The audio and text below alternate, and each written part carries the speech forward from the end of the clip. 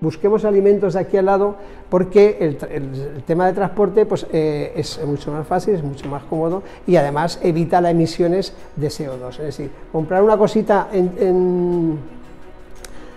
en Bután, que nos parece que, nos, que, nos ahorramos 50 céntimos, en realidad si contáramos el, el consumo, o sea, la emisión de CO2 que genera eso y los problemas que nos está ocasionando, pues seguramente no podría soportar ese precio. Yo creo que eso poco a poco va calando también y junto a las medidas que se adopten, insisto, para el tema del transporte, donde todavía tenemos ahí un, déficit muy importante, en el tema de la alimentación más sostenible por parte de los ciudadanos,